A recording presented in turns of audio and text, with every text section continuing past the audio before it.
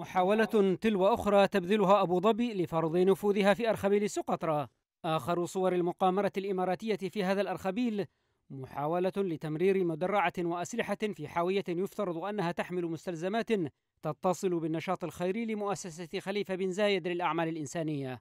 فأثناء عملية تفتيش روتينية للحاوية القادمة من الإمارات على متن سفينة أداسترا التابعة للمؤسسة عثرت الشرطة بداخل حاوية على مدرعة ومعدات عسكرية.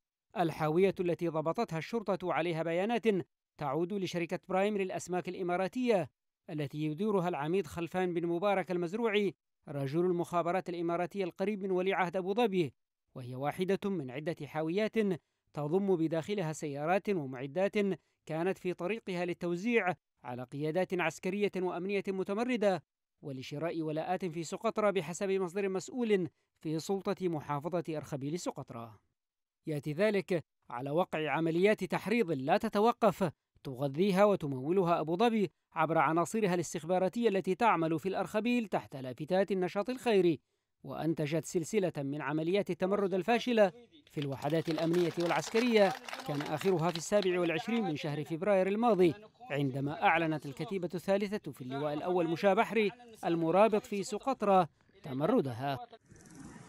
محافظ سقطرى رمزي محروس زار الاثنين اللواء الأول مشاه بحري لتفقد مستوى الجاهزية القتالية لمنتسبي اللواء عقب أسابيع من تمرد أفراد الكتيبة الثالثة داعيا المتمردين للعودة إلى وحدتهم العسكرية الشرعية. المكتب التنفيذي وهو السلطة التنفيذية المحلية العليا في أرخبيل سقطرى ويرأسه محافظ المحافظة. كان قد أعلن مؤخرا رفضه استغلال بعض الجهات العاملة في سقطرى للعمل الإنساني لخرق النظام والقانون المعمول به والمتعارف عليه دوليا في إشارة إلى مؤسسة خليفة بن زايد والهلال الأحمر الإماراتيين. ففي أرخبيل سقطرى تتعدد أشكال الممارسات التخريبية التي تمولها أبو ظبي وتتم عبر شركات إماراتية قامت بإنشاء معامل لتعليب وتغليف الأسماك وذبح المواشي وتصديرها بشكل مخالف للقانون وبما يستنزف الثروة الحيوانية المحدودة في الأرخبيل.